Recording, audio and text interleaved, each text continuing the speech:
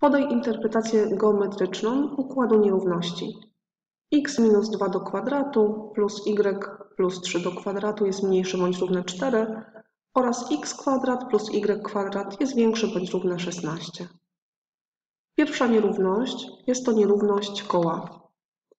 Nierówność koła możemy zapisać w postaci x minus a do kwadratu plus y minus b do kwadratu jest mniejsze bądź równe r kwadrat, gdzie współrzędne a i b są współrzędnymi środka koła, natomiast r jest promieniem tego koła.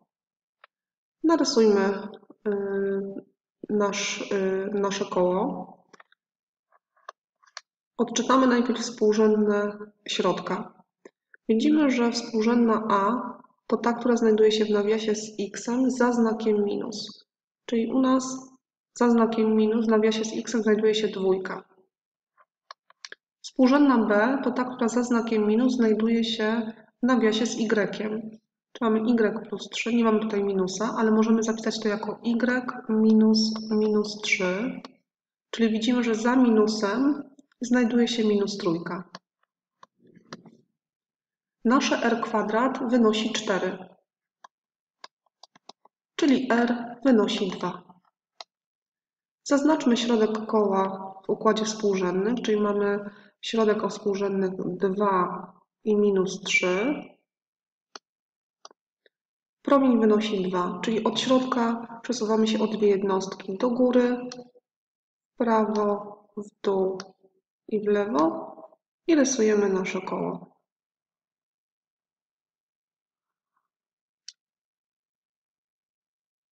Nierówność jest skierowana y, do środka, czyli interesuje nas to, co jest mniejsze bądź równe y, od promienia wynoszącego 2. Równe oznacza, że mamy z okręgiem, mniejsze oznacza, że to jest to, co znajduje się w środku. Druga nierówność opisuje nam to, co znajduje się na zewnątrz okręgu o odpowiednim środku i promieniu. Odczytajmy środek tego okręgu i jego promień.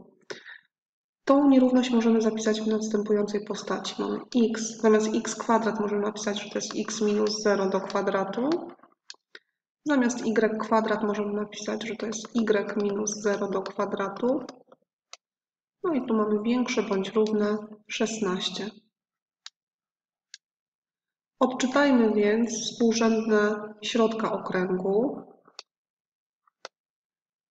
Pierwszym nawiasie za znakiem minus znajduje się 0. W drugim nawiasie za, za znakiem minus również znajduje się 0, czyli nasz środek ma teraz współrzędne 0, 0. Tu mamy r kwadrat, czyli r kwadrat u nas wynosi 16, czyli r wynosi 4. Narysujemy okrąg o środku w punkcie 0, 0 i promieniu 4, czyli od tego punktu przesuwamy się o 4 jednostki w górę, prawo, dół i w lewo. I naszkicujmy ten okrąg.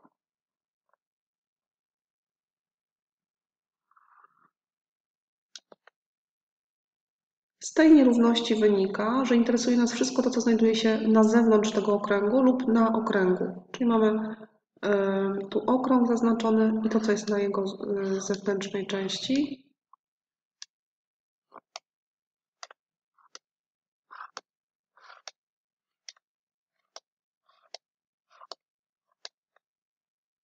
Ponieważ był to układ nierówności, szukamy części wspólnej y, tych zaznaczonych części. Czyli widzimy, że czerwone kreski i niebieskie kreski pokrywają nam się w tym fragmencie, łącznie z obrzeżem. Zielony obszar obrazuje nam część wspólną tych dwóch nierówności.